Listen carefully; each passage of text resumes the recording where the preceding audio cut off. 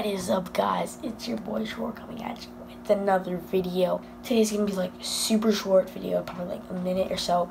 Um, I just want to tell you guys that I got Final Cut Pro, so my stuff is gonna be way better. Videos gonna be way better. My editing stuff's gonna be way better. editing editing.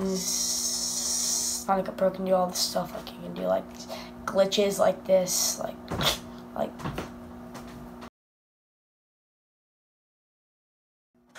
like really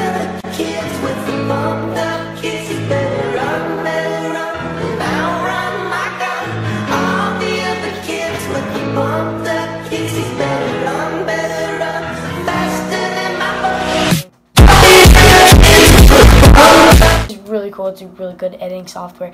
I just want to tell you guys that. So my next vlog will be we're gonna go on a trip. So stay tuned for that, guys. Make sure to subscribe and turn on post notifications if you want to. If you enjoy my videos, like if you enjoyed, and peace out.